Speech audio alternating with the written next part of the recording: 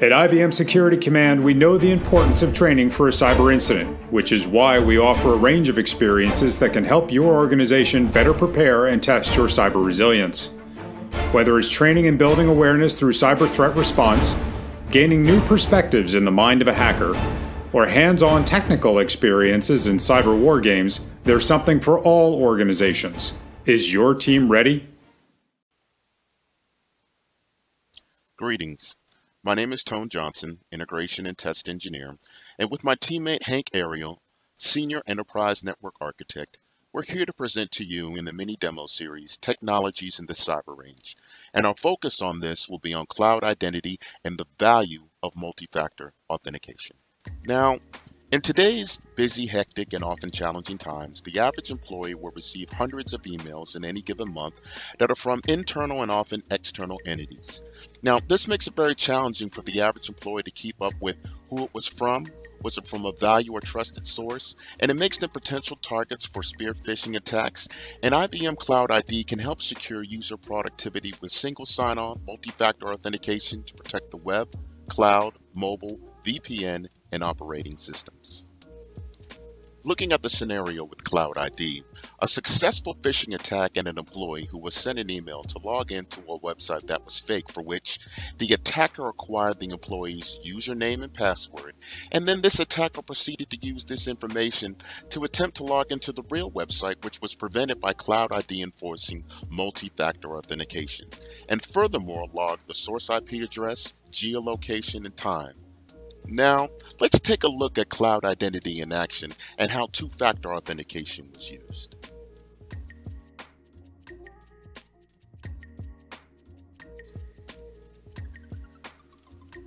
So I want you to think of me right now as the attacker. And I got the username and password. And I'm going to try to log in to their VPN using Cisco AnyConnect. So we press connect. Now we're going to go to other sign-in options because I have the username and password. Okay, and now I, I can enter my username and password. And after that, that would be it. But the value of two-factor authentication is, and as you'll see in momentarily, is there's going to be another layer here. Now the attacker has to deal with another layer of security. And that other layer of security, specifically dealing with two-factor authentication, we will have to, um, I would say, choose a method. And the three methods that we're dealing with here would be an authenticator app using TOTP, there's email, and there's a text message that would all send a one-time password to either your your phone or your your email device. Now, and there it is. Now the attacker can't get in. But if I was the user, because I have these secure things and I bring up my authenticator app, now I'm protected because I have this extra layer of security here and I can enter the one-time password that was that was sent to me and, the password would be 457507 and voila. Now I have access to my my network and my resources where if the attacker just having the username and password he would he wouldn't be able to get in because he wouldn't have the TOTP he wouldn't have the email and he wouldn't have access to get the one-time password. Now I want to pass it to my associate Hank Ariel for best practices recommendations. Thanks for that demo tone it's clear to see how effective enabling multi-factor authentication in cloud identity can be to mitigate the risk of compromise of a user's login credentials. As a network architect, I know how important it is to secure not only the perimeter of a corporate environment, but also internal segments and resources within a company's network. IBM recommends industry standard security practices, including network segmentation, a strong password policy, and multi-factor authentication wherever possible. This is defined by two or more different authentication methods, such as something you know, as in a password or PIN, something you have, as in a bank card or security token, or something you are, as in biometrics or behavior.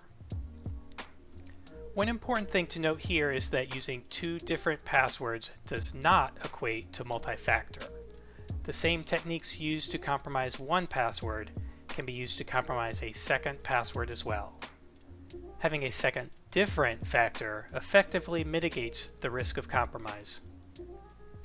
You've demonstrated the use of an authenticator app on your phone as the second factor, something you have. You'd certainly know if your phone were missing and would take action if that happened. Similarly, if you had biometrics enabled as the second factor, it would be a lot more difficult for an attacker somewhere on the internet to get your fingerprint or retina scan. From a security standpoint, having more than one authentication method enabled is crucial in today's world where everything is interconnected and users are accessing corporate resources from a variety of different, often remote methods.